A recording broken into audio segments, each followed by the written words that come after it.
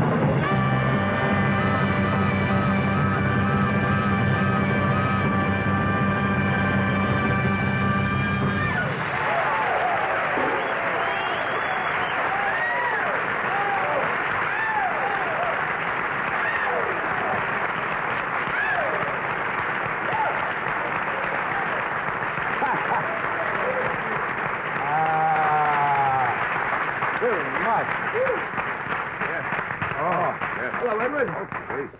How are you feeling? It'll be a long time. Good. Did you hear anything better than that? Or louder. Huh? Boy, that, that wipes you out, doesn't it? Yes, it does. I'm going to break his arm. He does play, too. He's He great. does play, too. They were telling me this afternoon the last time you really had played and then doing breaks was when you were in tour in Japan. And they went over there. Originally, there were supposed to be four drummers, right, on tour? Uh, yeah. And two fell out or something at the last minute. And they had to end up, and what'd you do, 26 minutes apiece or something? That was the first half. The first half. Yeah, then we had to do the second half of the show. Actually, Philly Joe Jones and Charlie Persip were with us. And uh, they couldn't make the final three weeks of the tour. And Louie and I wound up doing two and a half hours That's of, mad. uh, of nuts. Crazy. Whew. That really wipes you out, I'm tired because I haven't been to bed in two days. Really? Why? We closed in Reno. Thank you. We closed at Harrah's Club in Reno last night. It's a smart, nice little hand towel. He's not going to take a shower, just maybe something. Huh? huh. Hmm. Yes, that fits right in. There Thank you very much. Nice, nice little snappy ass Thank you for that. Why don't we do a commercial and then give us a little time to catch your breath here? Would you do that for me? That's right. Thanks very much. You know, actually, oh, I see. That's when he used to do the comedy act where he did the dancing and singing and all that, and the funny falls. For oh, the great acts. Yes. Let me sell her. Let me sell a pie here. So, your family is number one to you, right? Then why not treat them to America's number one dessert pie?